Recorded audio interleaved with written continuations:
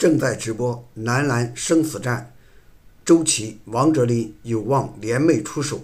大家好，这里是大唐聊球，欢迎广大球迷点赞关注，谢谢大家。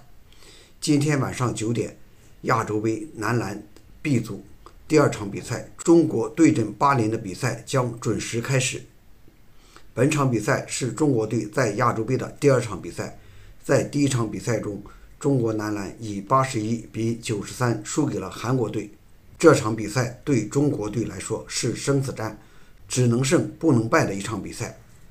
相对来说，这场比赛应该是轻松的，毕竟巴林队的实力不足以战胜中国队。虽然中国男篮的阵容不整，只要正常发挥是能够获得胜利的。况且本场比赛主力中锋王哲林和周琦是有望出场的。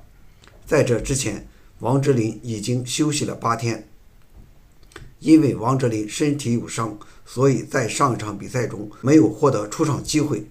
而周琦因为疫情的原因，一直在澳大利亚做隔离，估计今天晚上应该会赶到赛场去参加比赛。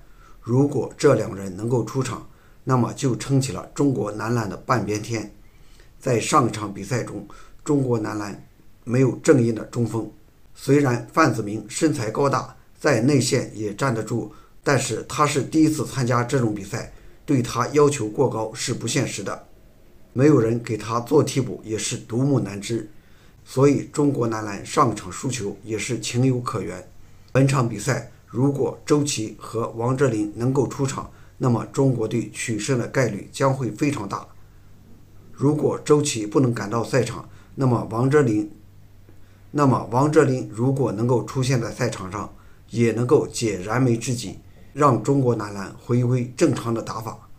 总之，不管怎样，今晚这场比赛一定要拼下来的。